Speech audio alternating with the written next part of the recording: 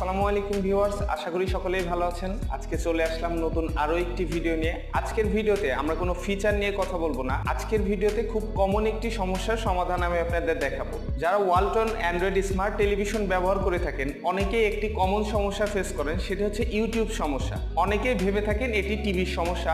আসলে ইউটিউব সমস্যাটা একদমই টেলিভিশনের কোনো সমস্যা না। এটি হচ্ছে একটি অ্যাপসের আপডেট জনিত সমস্যা। যেমন আপনার টেলিভিশনে যে ইউটিউব অ্যাপসটি আছে, সেটার ভার্সন যদি পুরাতন হয়ে যায়, তাহলে আপনার টেলিভিশনে ইউটিউব দেখতে কিছু সমস্যা হতে পারে বা ইউটিউব নাও চলতে পারে। তো আজকের ভিডিওতে আমি দেখাবো কীভাবে আপনি নিজে নিজেই খুব সহজে আপনার টেলিভিশনের ইউটিউব অ্যাপসটি আপডেট করে ইউটিউব সমস্যার সমাধান করতে পারেন। বিস্তারিত জানতে পুরো ভিডিওতে আমাদের সাথেই থাকুন।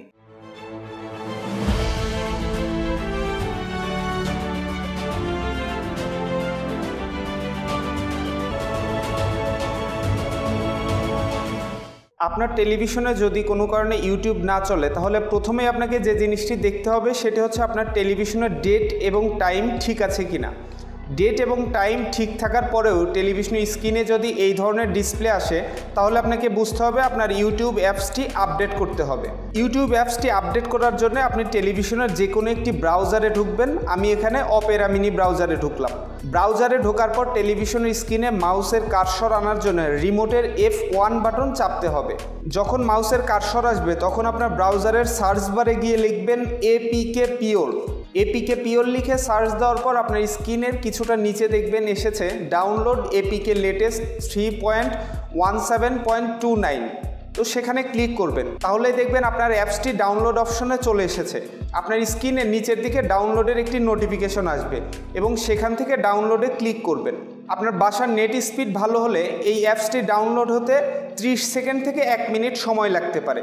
ডাউনলোড কমপ্লিট হয়ে গেলে আপনার স্ক্রিনের নিচের দিকে ডাউনলোড কমপ্লিটের একটি নোটিফিকেশন আসবে। এরপর অ্যাপ লিস্ট থেকে ফাইল ম্যানেজারে যাবেন এবং ফাইল ম্যানেজারের ইন্টারনাল মেমোরির ডাউনলোড ফোল্ডারে যাবেন। ডাউনলোড ফোল্ডারে দেখবেন আপনি যে এপিকে পিওর অ্যাপসটি নামিয়েছিলেন, এটা সেখানে আছে। এখান থেকে সেটি ইনস্টল দিবেন। ইনস্টল কমপ্লিট হয়ে গেলে আপনি ডান বা ওপেন দিতে পারেন। আমি আপনাদের বোঝানোর সুবিধার্থে এখান থেকে ডান দিলাম। এরপর টেলিভিশনের যে অ্যাপ লিস্ট ছিল, সেখানে দেখবেন এপিকে পিওর নামে একটি অ্যাপ যুক্ত হয়েছে। আপনি এই অ্যাপসের ভেতরে যাবেন। এটি হচ্ছে অ্যাপসের হোম পেজ। স্ক্রিনের একদম কোনায় ডান পাশে দেখবেন থ্রি বার আছে, সেখানে ক্লিক করবেন। তাহলে আপনার টেলিভিশনের যে সকল অ্যাপস আপডেটযোগ্য আছে, তার একটা লিস্ট চলে আসবে। আপনি চাইলে এখান থেকে আপডেট অল দিতে পারেন। আমি যেহেতু ইউটিউবটা আপনাদের দেখাচ্ছি, আমি শুধু ইউটিউবের এখানে আপডেট ক্লিক করলাম। দেখবেন আপডেট শুরু হয়ে গেছে। এখানে হান্ড্রেড পার্সেন্ট পর্যন্ত আপনাকে অপেক্ষা করতে হবে। হান্ড্রেড পার্সেন্ট কমপ্লিট হয়ে গেলে আপনার স্ক্রিনে ইনস্টলের একটি অপশন আসবে। সেখান থেকে ইনস্টলে ক্লিক করবেন। ইনস্টল হয়ে গেলে ডান বা ওপেন দিতে পারেন। আমি আপনাদের বোঝার সুবিধার্থে আবারও ডান ক্লিক করলাম। এখন দেখবেন আপডেট অপশনে ইউটিউব অ্যাপসটি নেই। তার মানে হচ্ছে ইউটিউব অ্যাপসটি আপডেট হয়ে গেছে। এখন আপনার টেলিভিশনের অ্যাপ লিস্ট থেকে ইউটিউবে ক্লিক করবেন, দেখবেন স্মুথলি ইউটিউব চলছে। আর এভাবেই খুব সহজে ওয়ালটন অ্যান্ড্রয়েড স্মার্ট টেলিভিশনে নিজে নিজেই ইউটিউব আপডেট করে ইউটিউব সমস্যার সমাধান করতে পারবেন। ওয়ালটন টেলিভিশনের সকল ভিডিও টিউটোরিয়াল পেতে চোখ রাখুন ওয়ালটন টিভি টিউটোরিয়ালে ধন্যবাদ সবাইকে।